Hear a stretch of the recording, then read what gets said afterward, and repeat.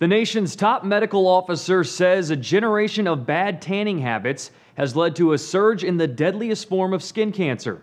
For the first time, acting U.S. Surgeon General Boris Lushniak released a call to action report Tuesday labeling skin cancer a major health problem that requires immediate action. The report said overexposure to ultraviolet rays, whether outdoors or in a tanning salon, has led to a 200% spike in melanoma related deaths since 1973.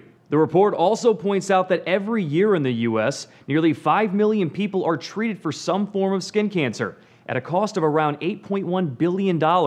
And of those cancers, melanoma causes the most deaths at 9,000 per year. Now, Lushniak isn't suggesting people stop tanning altogether, but he did say the facts speak for themselves.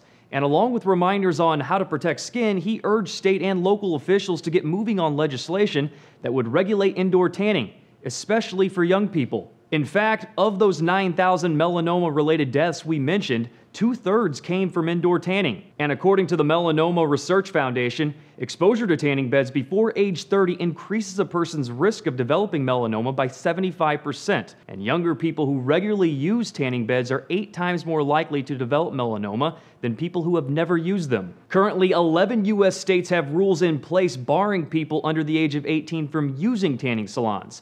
Just less than half of U.S. states have bans for younger minors. In an interview with the Washington Post, Lushniak equates the problems of youth tanning to smoking. We certainly know it's something that's become popular amongst youth.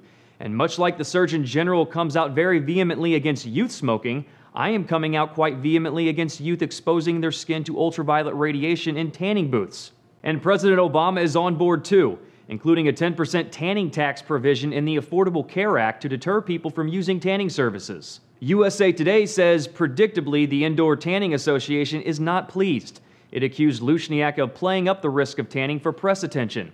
Tanning critics always exaggerate the risk of exposure to ultraviolet light in order to get the attention of the public, the media, and the government. The organization claimed UV rays aren't any more harmful coming from a tanning bed than from the sun, as long as it's done in moderation. Some well known tips for decreasing chances of getting melanoma include frequently applying sunscreen and getting plenty of time in the shade while outdoors.